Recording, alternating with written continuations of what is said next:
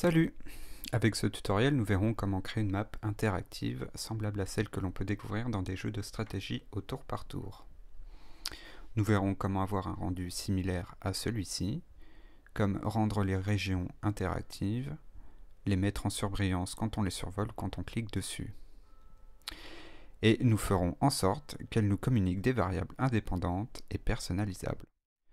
En suivant ce tutoriel, vous pourrez avoir ce rendu et comprendre quelle méthode j'ai appliquée. Vous pourrez ensuite, par vous-même, réaliser quelque chose de meilleure qualité, comme une carte plus grande ou plus jolie, voire même améliorer et personnaliser l'algorithme que nous créerons. Il s'agit de la seule méthode que j'ai pu trouver.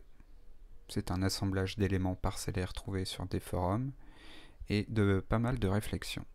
Donc si vous avez d'autres idées, je vous invite à les partager en commentaire. Pour ce tutoriel, nous utiliserons différents acteurs. Nous aurons besoin d'une data table. Nous utiliserons aussi une structure dans laquelle nous mettrons des variables. Nous créerons aussi le blueprint de la map et comment elle est constituée pour avoir ce rendu en jeu et en temps réel. Et enfin, nous créerons le blueprint du joueur qui est simplement constitué d'une caméra et de l'algorithme que, nous créerons dans son event graph.